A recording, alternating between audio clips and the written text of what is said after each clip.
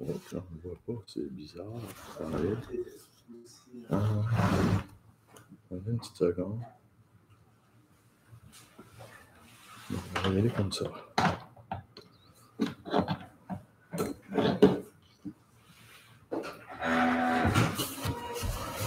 Bonjour.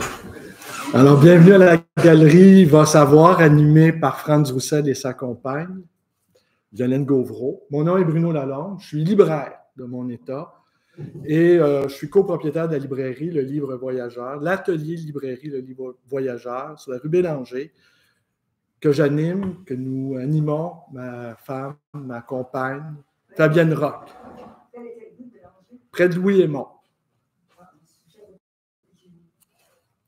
Et euh, Franz m'a sollicité pour vous parler de Régent de Charles. Évidemment, ici, tout le monde connaît Régent de Charles, tout le monde connaît son travail. Euh, mais je peux vous assurer qu'il y a quelques personnes qui l'ont quand même déjà vu. Et euh, je vais vous parler de certaines d'entre elles ce soir, cet après-midi. Et même, euh, j'avais, comment je peux vous dire ça? Moi, je ne suis pas un spécialiste de Régent de Charles. Je ne suis pas un universitaire, je suis un lecteur, je le lis depuis l'adolescence. J'ai vu quelques-unes des pièces de théâtre qui ont été, été jouées. J'ai écouté ad nauseam certaines de ses chansons que Charles Bois a interprétées. J'ai lu tous ses livres. Euh, je me suis interrogé sur le mystère de son existence. Est-ce qu'il existait? Est-ce que c'est un prêtre? Non. Est-ce qu'il a plagié? Parce qu'on l'a accusé d'avoir plagié aussi. C'est ce que je vais vous montrer dans, dans quelques minutes. Des personnes très importantes l'ont accusé d'avoir plagié. Et euh, j'avais deux méthodes en tête pour vous parler de Régent Charles. Une extrêmement euh, audacieuse et impossible à réaliser pour moi parce que je n'ai pas, pas ce qu'il faut et je ne sais pas s'il existe un biographe au Québec qui serait capable de faire ce que Sartre a fait pour son Flaubert. C'est-à-dire, euh, Sartre se posait une question, qu'est-ce qu'on peut comprendre d'un homme aujourd'hui?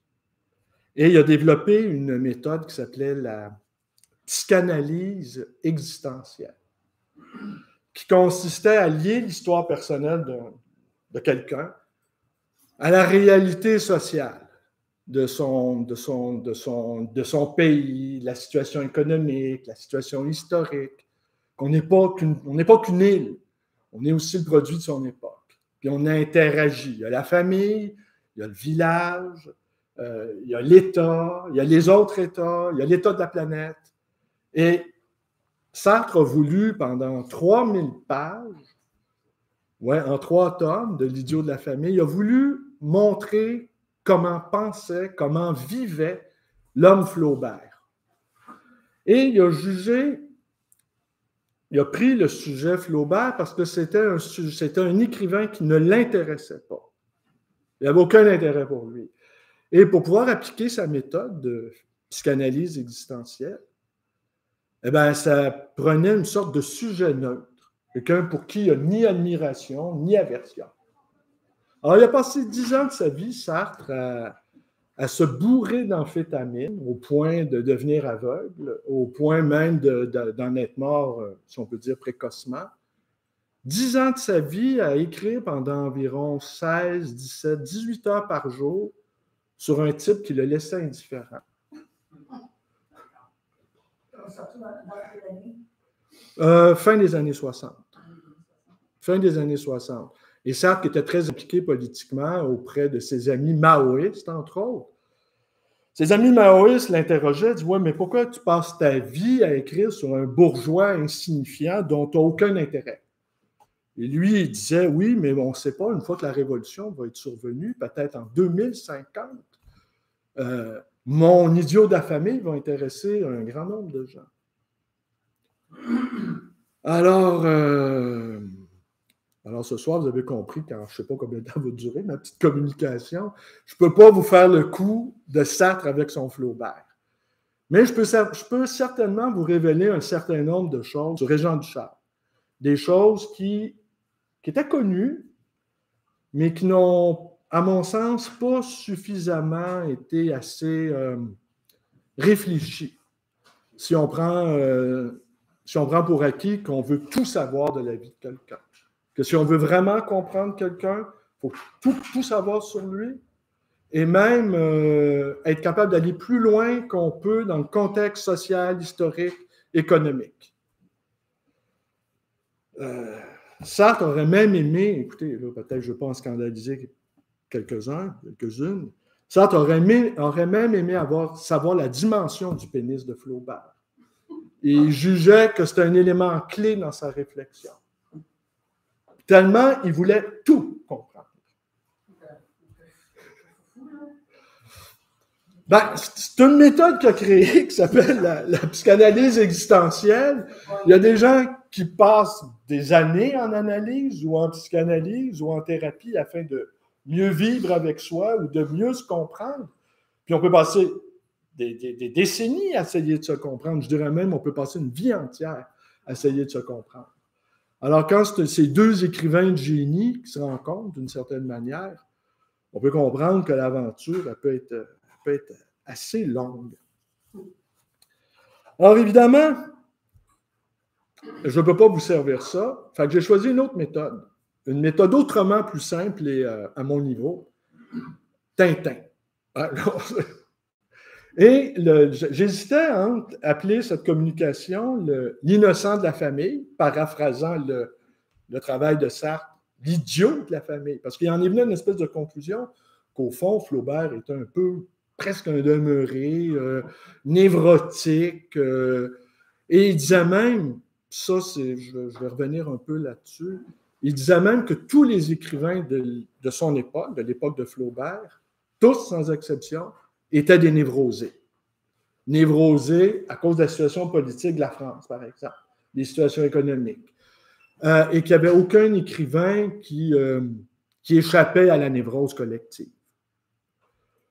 Je prétends que c'est le cas du Québec, c'est le cas du Charme. faire court, Ducharme était totalement névrosé, mais névrosé jusqu'aux oreilles avec aucune possibilité de faire autre chose qu'une œuvre euh, faite dans la difficulté, euh, contrairement à ce qu'on a pu dire. Euh, Charles n'était pas un érudit. Il faut penser plus à, un bricoleur, un, un, patenteux, un autodidacte, quelqu'un qui avait une douzième année et qui venait d'une famille complètement foquée. Alors, quand je dis j'ai choisi la méthode Tintin, c'est que plutôt que l'innocent de la famille, j'ai simplement appelé, ça, au lieu de l'île Noire, j'ai appelé ça l'île Perrault. D'accord? Parce que l'île Perrault, ça va être un peu le, pas le cadre général des choses que je vais avancer, mais un détail. Parce qu'étant donné que je ne suis pas un spécialiste de charme, je ne suis pas un universitaire, il y a un certain nombre de questions que je me suis posées et je vais aller dans cette direction-là. Et c'est possible que je n'apporte aucune réponse aux questions que je me suis posées et que je vais vous poser. Et peut-être vous, vous saurez m'éclairer parce qu'il y a des choses qui sont assez mystérieuses dans, la vie de, de, Duchamp. Beaucoup de choses mystérieuses. Alors, pour conclure avec Sartre et Flaubert, il disait pour comprendre un homme, il faut comprendre le territoire. Il faut comprendre où il pose ses pieds. Alors, euh, eh bien, Duchamp, il est en 41, à Saint-Félix-de-Valois. Ça, on peut lire ça dans n'importe quelle biographie. Mais il n'est pas resté longtemps à Saint-Félix-de-Valois. Il est resté trois ans.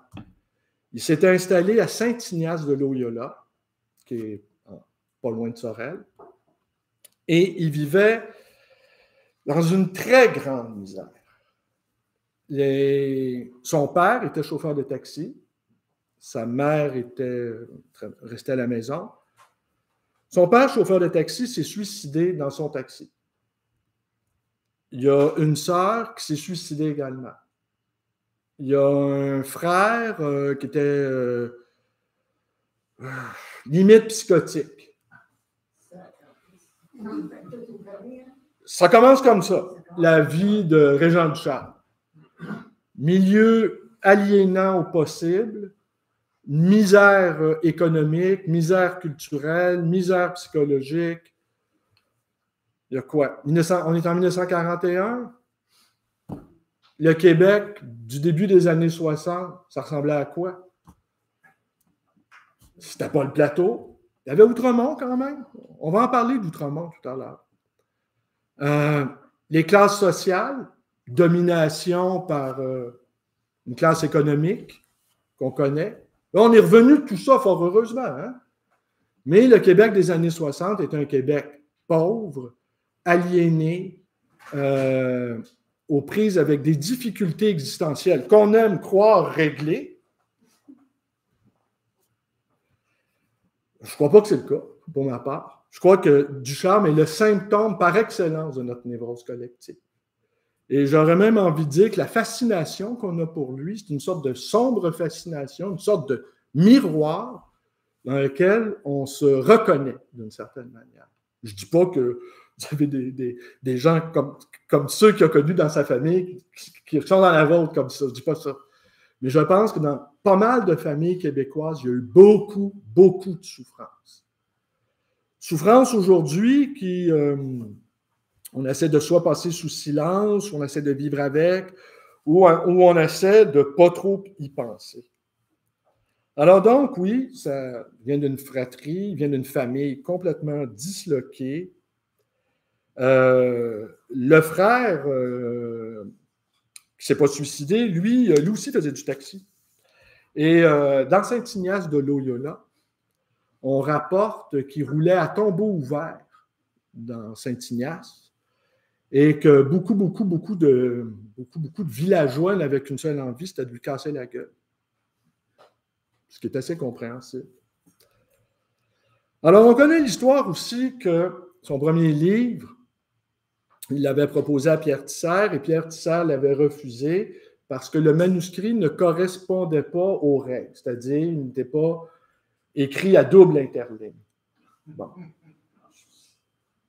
C'est possible, j'en sais rien. Ce que je sais cependant, c'est qu'en 1966, lors de la parution de ce qui est convenu d'appeler son premier livre, La vallée des avalés, mais qui en, réalité n'est pas son premier livre. les deux premiers livres, c'est L'Océan Son premier livre, c'est L'Océan qui a été écrit avant. Et, euh, et c'est un ami. Alors, il a donné une entrevue en 1966. Là, j'ai mes sources. Il a donné une entrevue à Gérald Godin. Me semble-t-il, c'est la seule entrevue qu'on lui connaît. Alors, il a donné une entrevue à Gérald Godin en 1966 au magazine McLean, où il énonçait un certain nombre de choses. Entre autres choses, qu'un ami lui avait conseillé d'envoyer son manuscrit chez Gallimard. Et là, euh, Duchamp ne connaît pas Gallimard. Il ne s'est pas dit, comme moi je l'ai toujours cru, je vise le top, je m'en vais chez Gallimard, je suis le roi de Saint-Ignace, je vais conquérir le Québec. Il ne s'est pas dit ça du tout. Il dit dans l'entrevue qu'il a accordé à Gérald Godin qu'il remarquait même pas le nom des éditeurs. Moi, ça, et, là, finalement, il a reçu, il a reçu, reçu l'approbation, mais pas sans condition. Il dit à Gérald Godin qu'il n'y a pas de culture il y a un peu, je n'ai pas de culture, je le cite là, je n'ai pas de culture, j'ai seulement une douzième année. Il lit Anatole France, il lit André Gide, et il se reconnaît en Gide, il dit de Gide, il parle comme le monde ordinaire. J'étais très étonné quand j'ai lu ça, parce que dans mon esprit, Gide ne parle pas comme vous et moi. À mon avis, Gide, c'est l'écrivain précieux, c'est la finesse, c'est l'élégance obséquieuse, c'est tout ce qu'on veut sur de, l'écriture parlée. Alors, ça, j'ai trouvé que c'était un. En tout cas, j'ai trouvé confirmation que Ducharme n'était pas un grand lecteur pour penser que Gide écrivait comme, comme on parle. Oui, il dit même que Gide parlait comme le peuple. Je le cite toujours. C'est une assertion qui m'apparaît euh, très, très, très, très étonnante. Il dit aussi qu'il dit toujours à Godin qu'il a reçu une lettre du lecteur chez Gallimard, Jean Blaza, qui a remporté le prix Femina, je pense en 1968. S'il y a des érudits dans la salle, on peut le confirmer. Il a remporté ce prix-là. Et Jean Blaza lui a envoyé une lettre de correction de 12 pages où il énumère toutes les fautes de français que Duchamp fait. Euh, là, j'ai omis de vous donner un exemple de faute qu'il faisait. Mais il dit à Godin, Blaza me dit que je devrais dire ça comme ça, mais moi, je pense que le dire comme je le dis, c'est tout, tout, à fait parfait. Ah, mais il a reçu une lettre de 12 pages où un grand éditeur français le corrige, le corrige. Hein? Des corrections, on en a subi souvent dans ce âge-là. Il dit aussi qu'il euh, peine à écrire, qu'il a beaucoup de difficultés à s'exprimer, euh, ce qui expliquerait en partie les raisons de, son associabilité. Ce qui expliquerait aussi d'une certaine manière la difficulté de, de se livrer en spectacle, de jouer le jeu euh, banal de la mise en marché d'un livre, euh, d'assister à des premières. Mais là, si on garde présent l'esprit qui vient d'une véritable famille que je qualifierais de psychotique, c'est sûr que Régent Duchamp souffrait de, certains troubles euh, comportementaux totalement justifiés. Il y a une famille disloquée. Il se retrouve tout à coup publié chez, le plus grand éditeur du monde francophone. Il se fait morigéner par un certain Jean Blaza qui lui rappelle qu'il ne sait pas écrire, au fond, d'une certaine manière. Et j'aurais envie de dire que pour une majorité d'écrivains québécois, et j'aurais même envie de dire pour la majorité d'entre nous qui écrivons en français, on se demande toujours si ce qu'on écrit, c'est du français. On a compulsé des dictionnaires, on vérifie. La moindre phrase peut être le, fruit d'un labeur inimaginable. On se demande même si on parle français d'une certaine manière. Et Ducharme avait, avait avait ça, et je dirais même du fait qu'il a été publié chez la plus prestigieuse des maisons d'édition françaises, devait-il aussi être doublé, devait-il ressentir peut-être l'effet d'être un imposteur? Ce qui, est, le cas de beaucoup de gens qui réussissent n'importe quoi dans la vie. Moi, peut-être qu'ils ne réalisent pas que c'est pas si fameux, ou euh, peut-être que je mérite pas, peut-être que je prends la place de quelqu'un d'autre. Donc, il est fort probable qu'il ait été atteint aussi du syndrome de l'imposteur. Ça aurait pu se régler s'il il avait, il avait su être mieux entouré, mieux protégé. Euh, il y a des gens qui ont tenté de le protéger. C'est là que je m'approche de mon épisode Tintin. C'est-à-dire, on n'est pas encore arrivé à l'île Perrault. C'est le lieu que j'ai choisi d'un endroit où il a vécu et qui a été qui a été une chose très étonnante pour moi d'apprendre ça. Puis je vais, je vais, vous montrer une lettre après qui va, qui va venir témoigner de mon étonnement. Vous allez comprendre pourquoi. Alors, oui, forcément, euh, le complexe de l'imposteur, il a dû en être atteint. Il a dû être atteint d'autres choses aussi. Et ça, je pense que ça n'a pas été suffisamment développé. Je pense qu'il était, il avait le complexe de quelqu'un du transclasse. Quelqu'un qui change de classe sociale. Vous d'un milieu pauvre, vous êtes euh, adoubé par euh, des gens très importants, des journalistes, des, écrivains, le gotha intellectuel, politique, tout le monde. Tout le monde voulait parler à Régent Chambre. Tout le monde voulait être avec Régent Chambre. Pendant dix ans au moins, on s'est arraché, arraché les grâces de Régent Chambre sans jamais les obtenir. Et des gens très fortunés ont voulu être en contact avec lui. Alors imaginez un peu ce, jeune homme qui se retrouve publié euh, là où on sait, qui est invité dans les salons d'Outremont. Euh, le couteau, les fourchettes, euh, c'est ça comment? Les couteaux, ça va là, les fourchettes, ça va là. on fait quoi quand on se sait parfaitement malhabile socialement? On n'a pas les codes, on n'a pas les outils. On n'a pas ce qu'il faut. On n'a pas la patine. On n'a pas les usages. Et puis, en plus, tout le monde nous célèbre comme étant le plus grand écrivain de sa génération. On ne sait même pas tenir sa fourchette. C'est un petit peu embarrassant. Mais il y a quelqu'un qui a essayé de l'aider à tenir sa fourchette. Je vais venir. Alors, il a publié son deuxième ou troisième livre en 66, La vallée des avalés. En 65, l'année d'avant, c'est une saison dans la vie d'Emmanuel qui nous raconte un peu la même misère existentielle du Québec, la même souffrance, la même impossibilité à exister. La même année, 1965, Hubert Aquin publie prochain épisode qui, qui a été, aux yeux de beaucoup d'universitaires, le grand rival d'Hubert Aquin, de, de Régent Charles.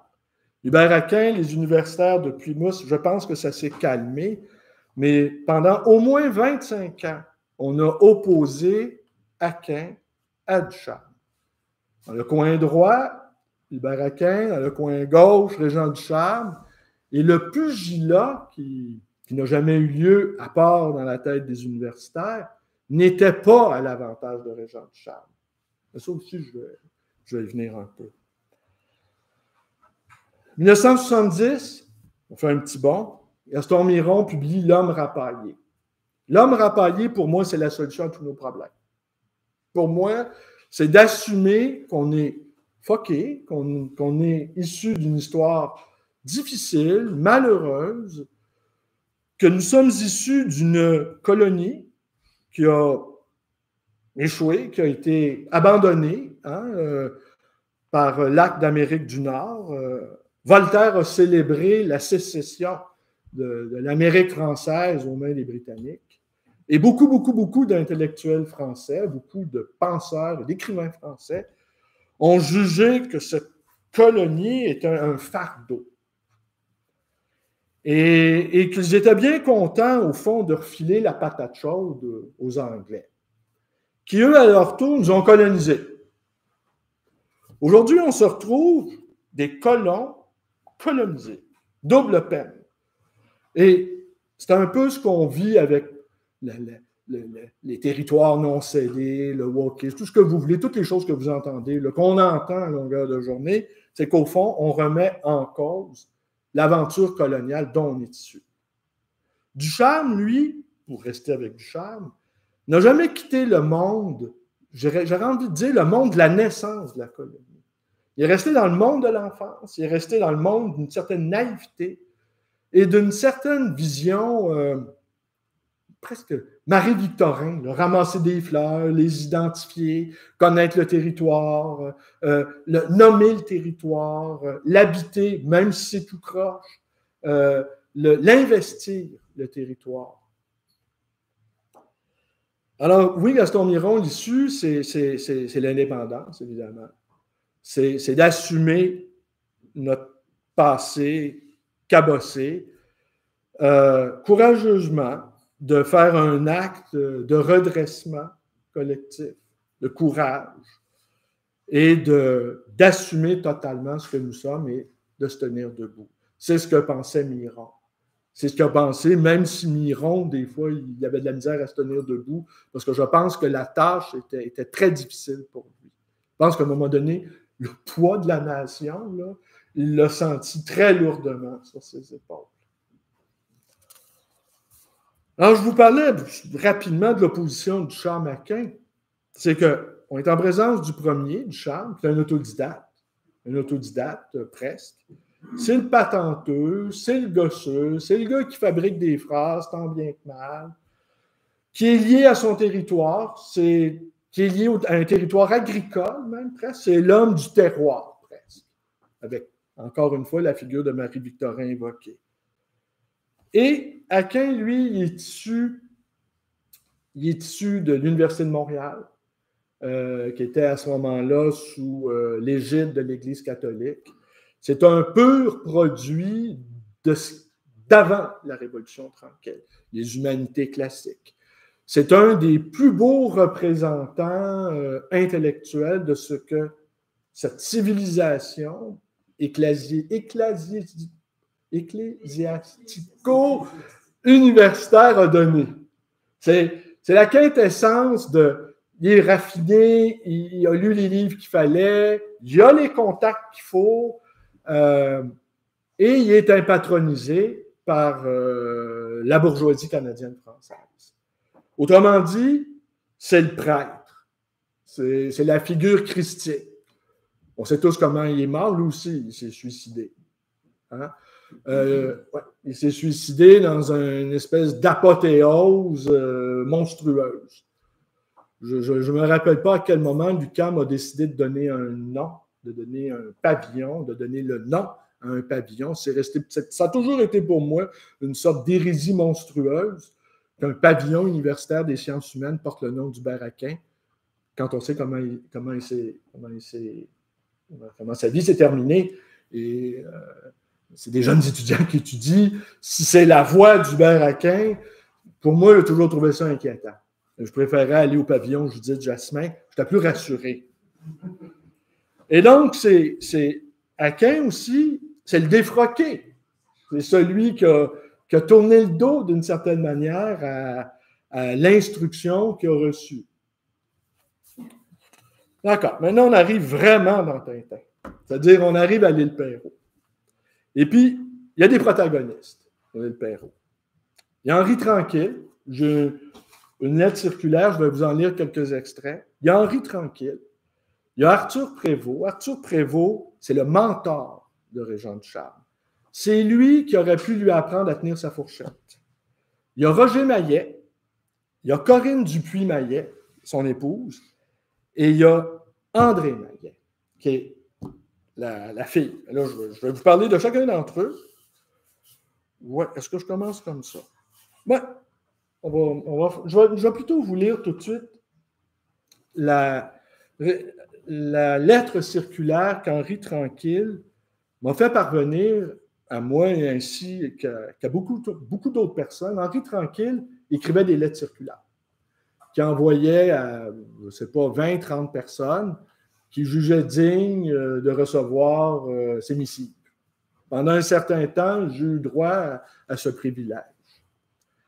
Et il m'avait envoyé ça le 22 août 1994.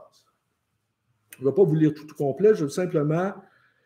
Il rappelle que le 22 octobre 1966, paru dans la revue 7 jours, ma critique sur le roman des avalés des avalés, La vallée des avalés, qu'évidemment, il avait beaucoup, beaucoup apprécié. Le vendredi au printemps 1967, ça fait un an que La vallée des avalés est publiée, Régent Ducharme me téléphona pour me commander le chant de l'Iroquoise par André Maillet. Je fus cependant étonné qu'un livre que je supposais faible soit commandé par un auteur aussi fort. Ducharme ajouta qu'il viendrait le prendre le lendemain midi. J'en avais parlé à quelques clients choisis. N'ayant pas le livre, bon, il décide d'aller chercher dans une autre librairie afin de transmettre le chant de l'Iroquoise à les gens du peu plus loin, parce que là, c'est le point que je trouve intéressant.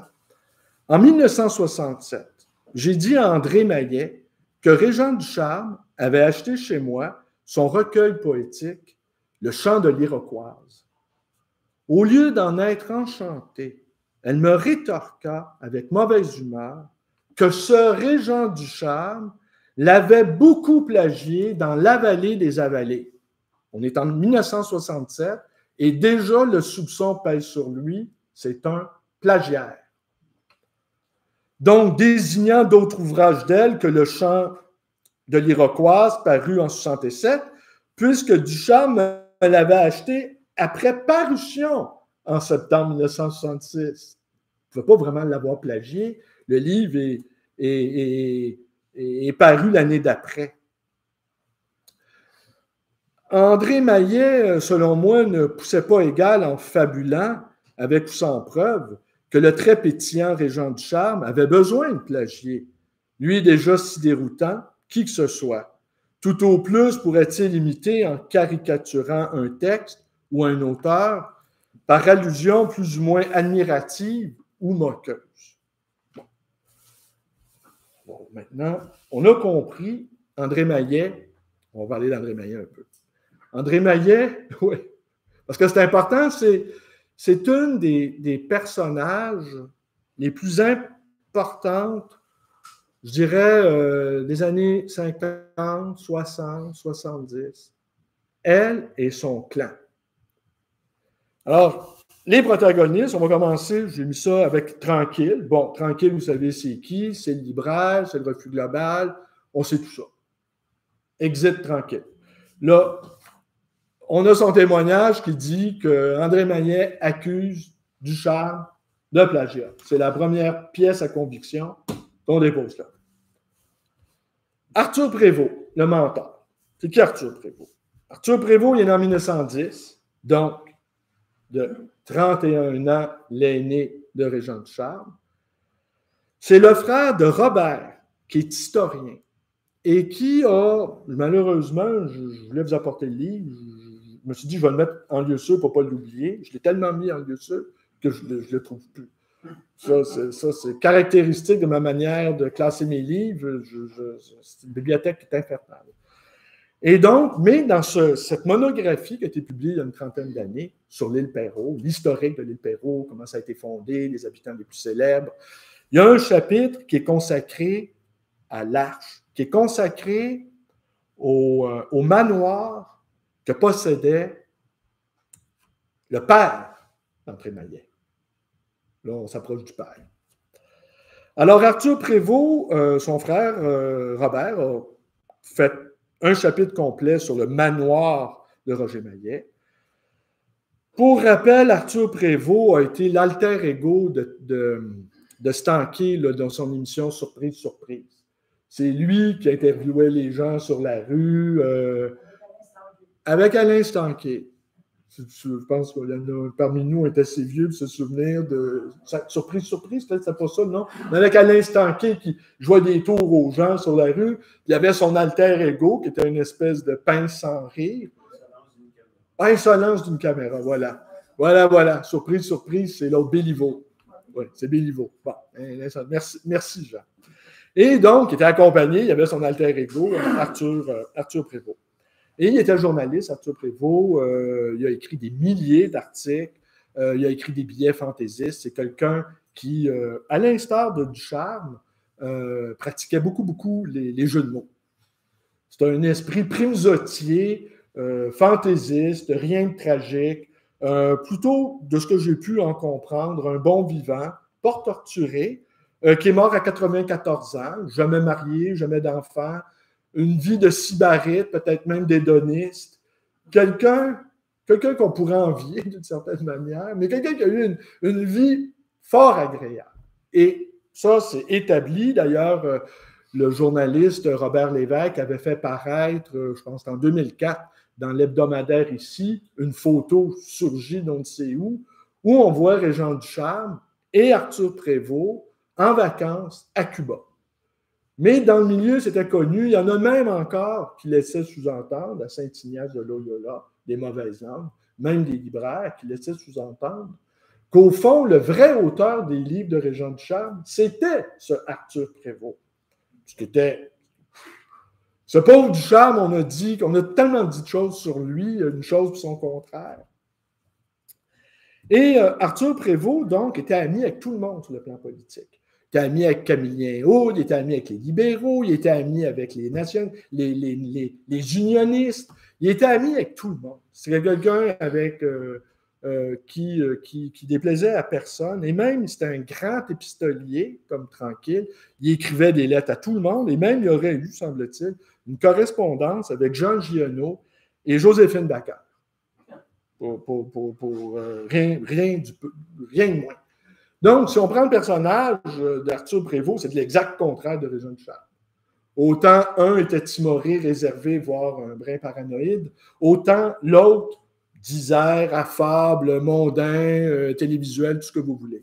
Le contraire. Mais c'était des amis et c'était des amis intimes. Deuxième personnage, Roger Maillet, le, le maître des lieux de l'île Perrault. Lui, il est né en 1896, il est mort en 1960.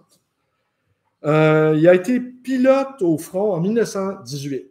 Euh, il a, combattu dans l'armée britannique. L'armée canadienne n'existait pas dans ce temps-là. Il a demandé à être mobilisé sur le front comme euh, pilote de reconnaissance. Donc, le gars, il a risqué sa vie. C'est un héros de guerre. Et il est devenu ami avec Churchill. Il est devenu ami Churchill et j'ai eu en ma possession euh, une lettre de Churchill euh, quand il était premier ministre au Downing Street où il remercie son ami Roger Maillet pour des cannes de sirop d'érable qu'il lui avait envoyées. C'est cute, mais j'ai revendu cette lettre-là à un libraire, il n'y a pas un jour où je ne le regrette pas. Mais c'est. On m'avait fait une belle offre, mais dans mon métier, des fois, il ne faut pas vendre. Alors, euh, ils avaient écouté, garde.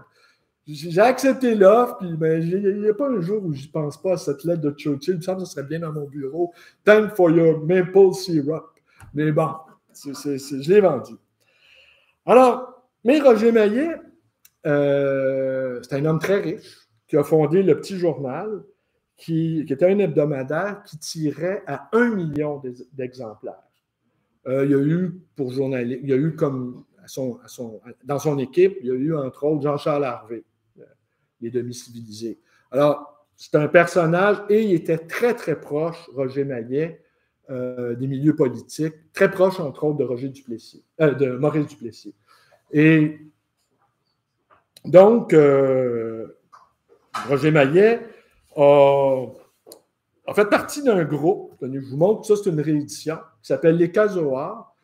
C'était un. Euh, les Casoars, c'est un groupe d'artistes d'Outremont qui se réunissait au début du siècle, à Outremont-Martre, qui appelait, qui se réunissait au début du siècle dans un, dans, euh, dans un bâtiment dans le Vieux-Montréal qui s'appelait l'Arche.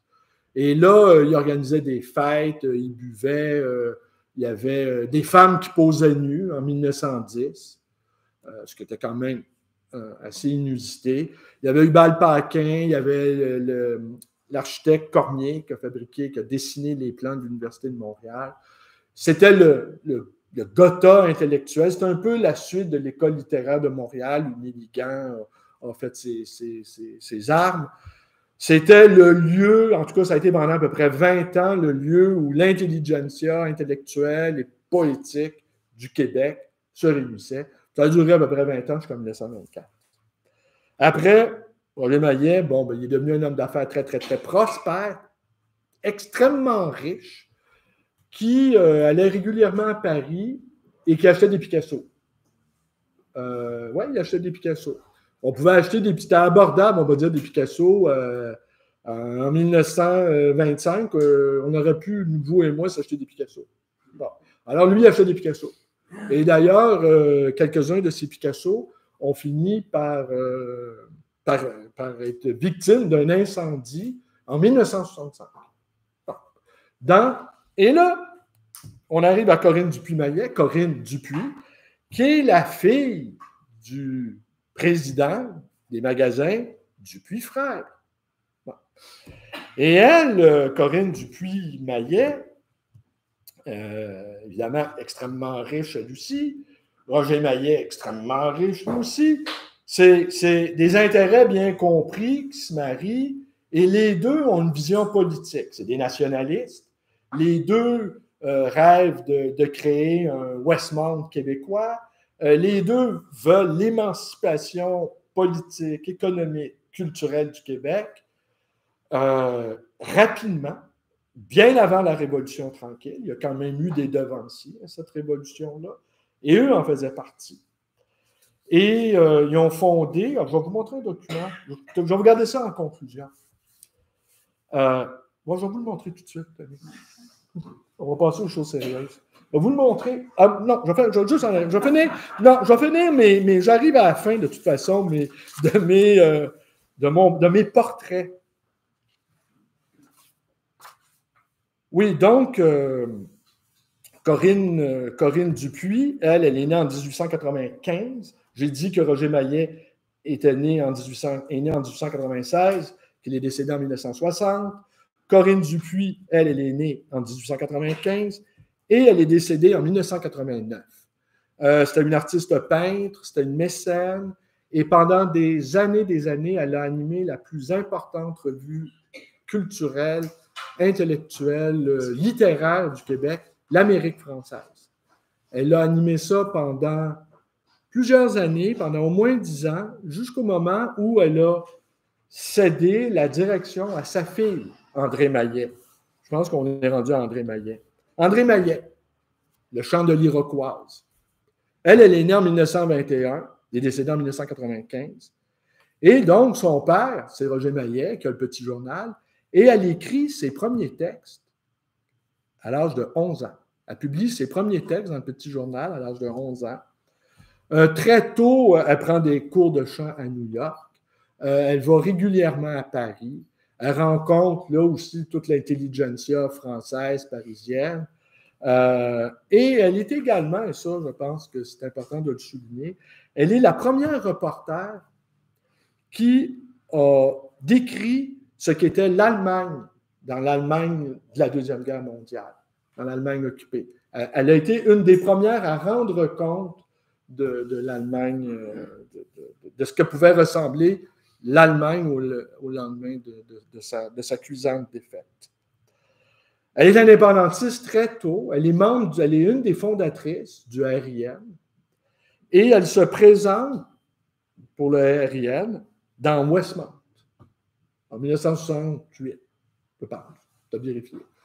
Et donc, c'est du solide. Mais gardez toujours présent à l'esprit, c'est quasiment le point, le, point, le point central de mon intervention de ce soir, c'est que cette dame, André Maillet, dès 66, 67, elle accuse Duchamp de l'avoir plagié.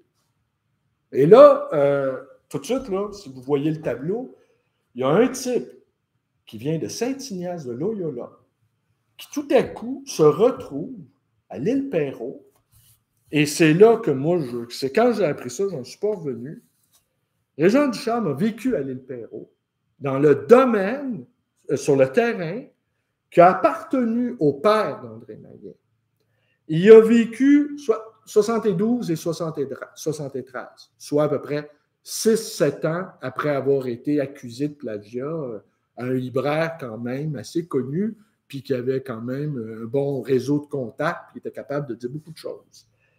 Alors, il a vécu dans une maison qui appartenait au clan Maillet. La maison s'appelait La Barrière.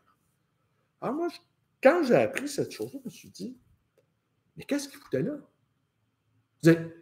Et, aujourd'hui, je n'arrive pas, peut-être de me dire c'est un détail, mais comment un, personnage euh, comme Ducharme, qui était encensé, les livres lus, euh, porté au nu, et tout à coup, il se retrouve avec la, bourgeoisie la plus, la plus, euh, la plus, les mots manquent, le sommet de la bourgeoisie, on va dire. Et là, comment il pouvait louer une maison euh, là? Mon hypothèse, c'est que c'est. Mon hypothèse, c'est que c'est son ami Arthur Prévost qui a voulu le. Bon, ben, on va essayer de faire de toi quelqu'un de présentable. On va essayer de, te polisser. On va essayer de t'apprendre les usages du monde. On va essayer de faire de toi quelqu'un d'un peu mondain. Ouais, ça, c'est mon hypothèse. Évidemment, ça ne pouvait pas marcher. D'ailleurs, Duchamp n'a jamais été mondain. Euh, tous les écrivains, euh, ils ne résistent pas, mais même certains libraires, à faire leur intéressant. Mais la plupart des écrivains ne vont jamais pousser la discrétion jusqu'à ne jamais être photographié, ne jamais donner d'entrevue. Euh, c'est pas possible. Bon, moi, j'ai évoqué dès le début l'enfance que, vous savez, que vous avez entendu. Pour moi, son enfance, a été un martyr. Sa, jeunesse a été un martyr. Le fait qu'il a été catapulté au sommet de ce qu'il y a de mieux en littérature, adoubé par la plus prestigieuse maison d'édition, dans un Québec effervescent qui passait d'une culture humaniste classique à la Révolution tranquille, euh, avec son effervescence, ses excès, sa créativité, pour moi, euh, Duchamp était perdu dans ce monde-là. Et pour moi, le plus réussi des, des, des, romans de Duchamp, c'est euh, L'hiver de force, qui est un, qui est un cri de rage. L'hiver de force, il dit, sa, il dit sa colère, il dit son refus de s'intégrer, il ne veut plus bouger du charme. Déjà, il ne faut plus que rien bouge. Dans l'univers de Ducharme, c'est un cri à, une, sorte d'immobilisme euh, à la fois furieux et euh, à la fois poétique. En tout cas, pour ma part, l'hiver de force, c'est mon préféré. C'est là où j'y trouve euh, une description aussi de Montréal, parce que bon, il y a eu le choc aussi de la montréalité. Hein, on ne perd pas de vue que Ducharme, euh, il vient d'un village euh, aux prises avec beaucoup, beaucoup de problèmes, d'ordre sociaux, socio-économiques. Là, il se retrouve dans la grande ville. Tout le monde va être ami avec lui. Charlebois va être ami avec lui. Je veux dire, c'est la star cachée du Québec. Et, euh, alors aussi, c'est le choc avec la ville de Montréal, pour moi, l'hiver de force. Alors, je ne sais pas euh, si je vous ai dit assez de choses. Ma conclusion partielle de tout ça, pour résumer, après je vais vous montrer un document qui vient un peu euh, vous montrer euh, l'importance de cette famille du Puy-Maillet.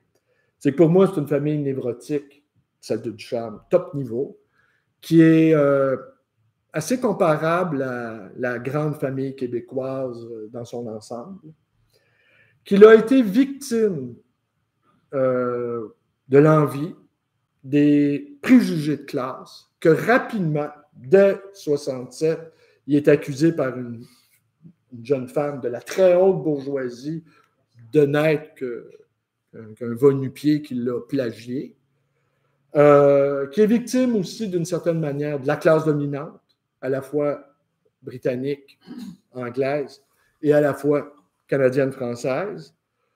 On pourrait faire une sorte de lecture marxiste de ça, des rapports de classe, ça existe, même si aujourd'hui on ne veut plus entendre parler de ça, qu'il aurait été victime d'un complexe d'imposteur et sans doute aussi qu'il aurait, il se serait senti un transclasse, quelqu'un qui vient d'une autre classe, mais qui n'est pas capable d'en assumer la condition, faute d'outils, faute de références, faute de prise sur la réalité et que, d'une certaine manière, Régent Ducharme pourrait être un peu l'archétype du Québec. Ce serait ma conclusion. Et de là, la, fascination, de là, la difficulté à saisir l'homme, de là, la difficulté à, nous saisir dans notre condition, de là, la, de là l'impossibilité presque qui nous est imposée, beaucoup par nous-mêmes, d'exister de manière pleine et entière. Et qu'aujourd'hui, on est peut-être rendu à la, croisée des chemins où on décide de, se redresser. J'aurais envie de vous parler de 30 secondes, si vous permettez, si, vous jugez qu'après euh, quand même, euh, c'est quand même un bon moment que je parle, là, 49 minutes. Je ferai une petite parenthèse. Je suis d'accord pour une dernière petite parenthèse? Oui, bon, d'accord. Euh, Camille Lorrain. Moi, Camille Lorrain, c'est un homme que, avec Parizeau, c'est le politicien que j'ai le plus aimé dans ma vie. Avec René Lévesque aussi, mais disons la fascination intellectuelle que j'ai toujours eue pour Camille Lorrain. Camille Lorrain était psychiatre et psychanalyste. Camille Lorrain, euh, lui aussi, a fait des études à Paris. On dit de lui qu'il a été le premier à introduire les œuvres de Jacques Lacan au Québec, que c'est un freudien, mais pas de, nécessairement de stricte obédience. C'est un freudien qui aurait travaillé sur le langage. Et lui, son constat, c'est que on était un peuple névrosé. Et la seule manière de nous guérir, c'était par la cure. Et la cure, a passé par la langue. Et la, loi 101, au départ, ne devait pas s'appeler la loi 101. Ça devait s'appeler la loi 1. Euh, pour moi, euh, ça signifie beaucoup. Parce que la loi 1, c'est n'est pas négociable. C'est 1, c'est une ligne, c'est d'un trait, c'est direct, c'est une base, c'est un socle, c'est pas négociable. Puis là, par une espèce de lapsus, c'est ça qui est assez inimaginable pour, un psychanalyste, il a dû vivre ça, je ne sais pas comment il a vécu ça, vécu ça euh, Camille Lorrain, d'une loi fondatrice, sans équivoque, sans équivoque, c'est devenu, devenu la loi 101. Mais pour moi, 101, c'est philo 101, c'est initiation. 101, quand on dit les cours 101, c'est les cours de base. Mais ce n'était pas une loi de base. C'était une loi qui visait à, une, à, une, à un redressement anthropologique. Ce n'était pas une loi de défense de la langue française. C'était une loi d'affirmation de la langue française. Très différent. Ah oui, il faut défendre la loi. Non, il faut, il faut l'imposer, il faut l'affirmer. Il faut que ça soit d'un seul bloc. Et, c'est devenu de loi 1 à la loi 101, d'une loi offensive, d'une loi anthropologique, c'est devenu une loi juridique et défensive. Ça devait être une misère pour lui de constater ça.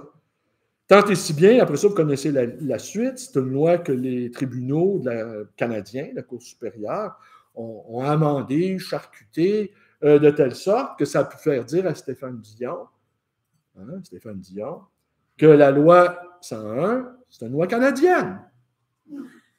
Il l'a dit. Bon, il l'a vraiment dit. Donc, ce qui veut dire une loi canadienne, ça veut dire, ça veut dire une loi qui n'est pas vraiment bonne pour nous. Si, on, entend bien. Et là, donc, Camille Lorrain euh, a fini par écrire, euh, on, a fini par regrouper, il a fait un certain nombre de textes théoriques euh, sur la psychanalyse, sur le langage, sur, des sujets qui, lui tenaient à cœur. Ça a été publié chez un éditeur montréalais qui est en face de la librairie, les éditions Libère, dans une collection qui s'appelle euh, Voix psychanalytique. Et celui qui dirigeait la collection à l'époque, je lui avais demandé, il en avait vendu combien du livre de Camille Lorrain? Eh bien, il en avait vendu huit exemplaires. Ça m'a un peu déprimé bon, Camille Lorrain, quand même, c'est pas, pas rien. Alors voilà, écoutez, je vais vous montrer le dernier document qui vient comme. Il y a le document, bon, peut-être de les juger que c'est anecdotique, mais pour moi, ce ne l'est pas. Qu'un type comme Ducharme ait été jalousé dès le départ par une membre éminente de la haute bourgeoisie canadienne, française, intellectuelle, littéraire. Je veux dire, euh, le père de cette femme-là, il achetait des Picasso. Pour moi, je ne sais pas pour vous. J'ai ramené ici, je peux vous le montrer, lui, euh, il y avait une immense bibliothèque, euh, Roger Maillet, et son, manoir à l'île Perrault, donc je vous disais qu'il avait, été l'objet d'un incendie en 1965, donc quelques Picasso qui ont, été, qui ont été calcinés. Alors, je vous le montre, si vous voulez jeter un petit coup d'œil, c'est son ex-libris. Il y avait une opulente bibliothèque. Donc, au cours de mon métier de libraire, je me suis porté en partie à Quimper, de la bibliothèque de la, de la famille de, Roger Maillet. Roger Maillet et Corinne Maillet, ils ont eu deux filles. Bon, ils ont eu André, le chant de l'Iroquoise, et ils ont eu Françoise aussi, qui était l'épouse de Jacques Lavigne, qui était considéré, qui est considéré par euh, les historiens de la philosophie au Québec comme le premier philosophe d'importance au Québec, avec un ouvrage bien en France, L'inquiétude humaine. Montre. Alors, ici, un autre document qui est l'acte de vente. Je vais vous le montrer. Tenez, ça, justement, je me suis porté acquéreur lors de, cette. Euh, Pardon? Non, lui, c'est drôle, j'ai vendu Churchill, mais lui, je l'ai gardé. OK? Je l'ai gardé, je vais vous lire euh, ce qui est dit. Ce n'est pas tellement intéressant. Ce qui est intéressant, c'est le témoin. Le témoin de la vente. Alors, c'est le 16 septembre 1947. Je sous-signé Rodolphe Dubé, alias François Hertel, dont on dit de lui, je fais une toute petite parenthèse, qui était le maître spirituel de Pierre Trudeau. C'est un jésuite, Trudeau est à la Brébeuf, hein? tout ce beau monde est à la Brébeuf, euh, sauf Duchamp. Et euh, donc, c'était le maître intellectuel et spirituel, en tout cas, on dit ça de Pierre Trudeau. Je sous-signé Rodolphe Dubé, alias François Hertel, prêtre, déclare par la présente vente la revue Amérique française, qui m'appartient en exclusivité, telle qu'il l'affaire des certificats d'enregistrement à la Cour euh, supérieure district de Montréal en date du 20 mai 1947. La, la présente vente est faite pour le montant de 400 dollars qui m'a été payé en entier par l'acheteur, Madame Roger Maillet, donc quittance. Je déclare de plus que la dite revue est libre de toute dette et que je cède tout le matériel appartenant à la dite revue et présent en ma possession. Alors, vous avez le vendeur, Rodolphe Dubé, prêtre. Vous avez l'acheteuse, Corinne Dupuis-Maillet. Et vous avez ici le témoin, Pierre Elliott Trudeau.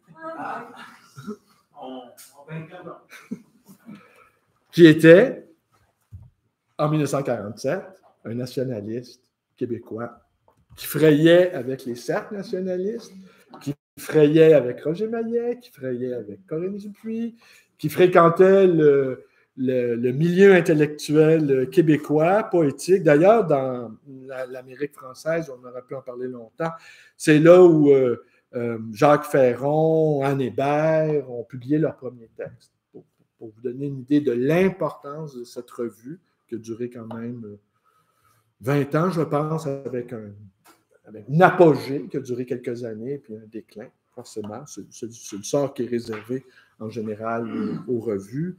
Et Trudeau était très proche de ces gens-là, était très proche euh, des duplessistes, était très proche des nationalistes québécois, euh, eh bien, il y a toutes sortes de raisons pour la conversion de Trudeau. Bon, pas, je suis allé ce soir pour parler de Régent Ducharme, pas comment Pierre Trudeau a mal tourné. Mais euh, ben voilà, je voulais vous montrer ça pour que vous... En fait, je voulais vous offrir un, tableau euh, d'ensemble de cette société québécoise et comment un, écrivain aussi, euh, aussi, formidable que Régent Ducharme, au fond, d'une certaine manière, à bien des niveaux, ne pouvait pas trouver sa place? On a-tu pas des questions? Oui. J'en aurais une à propos d'André Maillet. A-t-elle déjà apporté quelques preuves du plagiat? Pas à ma connaissance. Elle n'a jamais dit voici ce qu'il a plagié dans mes textes? Non. Non. Pas, C'est le témoignage de Tranquille qu'on a là. Mais est-ce que quelqu'un l'a contredit? Ben, Tranquille, euh, moi je pense que Tranquille était un témoin au-dessus de tout soupçon. Euh, c'est la qualité du témoin, évidemment, qu'on peut remettre en cause. Est-ce que Tranquille a fabulé? Euh, non, parce que Tranquille était, était, était un grand admirateur de, du charme. Et, et je, et, vu, vu euh, parce qu'il faut comprendre, si on regarde le, portrait là, de, général de l'affaire, on a affaire à quelqu'un qui est extrêmement privilégié et essayez d'imaginer un peu. Vous avez tout dans la vie, parce que quand tu as tout dans la vie, il te manque quand même un certain nombre de choses. Euh, oui, ça peut être le prestige, ça peut être la gloire, ça peut être les honneurs, ça peut être la reconnaissance euh, par l'écriture, par l'art, par la religion, euh, Dieu. Euh, bon, il y a plein de choses qui font qu'on ne se contente pas d'être juste riche. Ça peut même avoir envie d'aller visiter le Titanic, par exemple. C'est un peu, un peu étrange là, comme désir, mais ça peut aller très loin quand on a tout, qu'il nous manque quand même quelque chose. Et elle, elle, publiait dès l'âge de 11 ans. Elle a, elle a eu, s'il y a quelqu'un qui, qui, a joui davantage à la fois matériel, symbolique, euh, considérable. Et là, il, apparaît un type qui vient de Saint-Glinglin, qui est chez Gallimard. C'est pas tenable. C'est pas, pas, pas acceptable. Il n'a pas la notoriété de, Non, puis c'est pas, c'est pas possible. C'est inacceptable. Alors, je, je, crois volontiers le, témoignage de, de Tranquille qui était par ailleurs un grand admirateur du travail de, de Ducharme. Alors, euh, je, Oui. Il y a un autre euh, géant de notre littérature qui est apparu au même moment, qui a eu une enfance douloureuse, c'est l'écrivain du terroir, l'écrivain original, Victor Lévy-Beaulieu. Ouais. Est-ce qu'il y a eu un quelconque rapport entre, entre Duchamp et Victor Hugo? Ou est-ce qu'il était complètement. Pas, écoutez, pas à ma connaissance. Pas à ma connaissance. Mais euh, il est immense, Beaulieu. Pour moi, euh, Beaulieu, euh, c'est un géant. là. Je veux dire, il est immense. C'est. J'aime pas tout dans ce qu'il fait parce qu'il y a des affaires que je comprends pas, pour, pour dire le vrai. Mais lui aussi, il a montré qu'il venait d'une famille assez tordue. hein. Et que ce soit dans ses téléromans, euh, L'héritage ou Race de monde, il nous a bien montré à quel point on avait des, bébites dans le traîneau, comme on dit. Alors, euh, mais là où je suis totalement admiratif du, travail de Beaulieu, c'est euh, c'est les livres qu'il a fait sur les écrivains. Euh, son, son son Victor Hugo, son Melville. Son Melville, je ne sais pas, peut-être c'est le plus beau livre jamais écrit au Québec, le Melville. C'est merveilleux, le Melville. Et ça, c'est- sûr, c'est un peu, une espèce de mythomanie, on, pourrait dire, parce que, OK, ça soit avec Melville, ça soit avec Victor Hugo, ça soit avec Victor Hugo. Ouais, il est Nietzsche, il est avec Nietzsche, euh, il est avec James Joyce, de plein pied.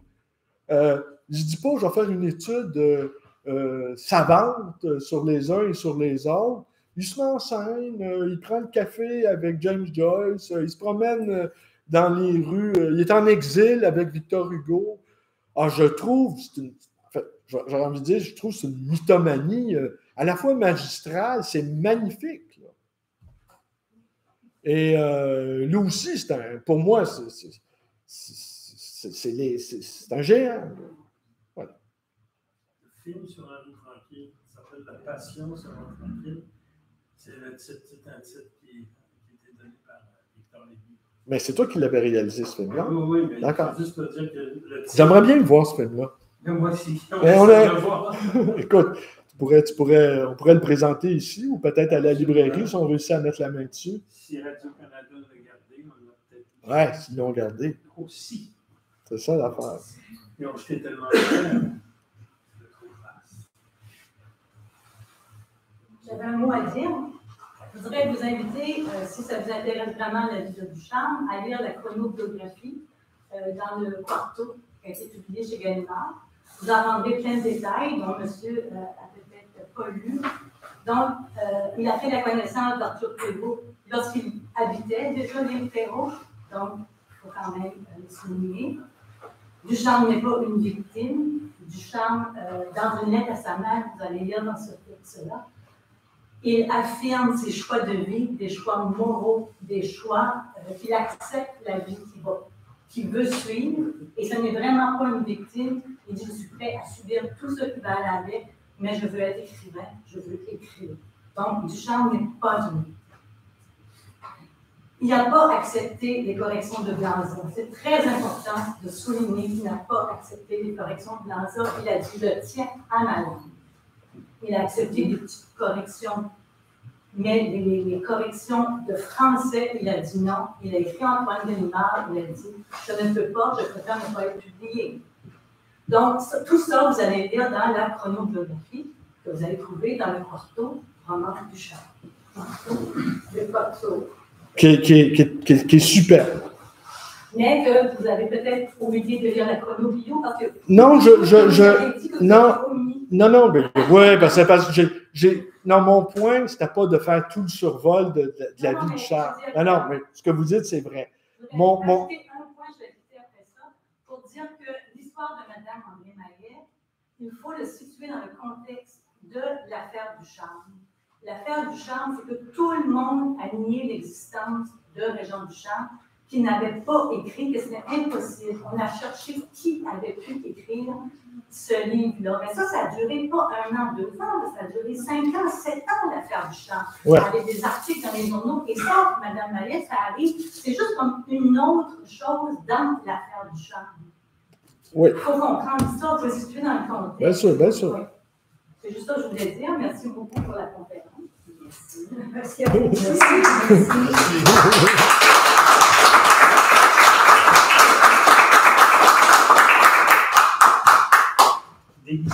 Se Depois eu conto tudo, meio mudado.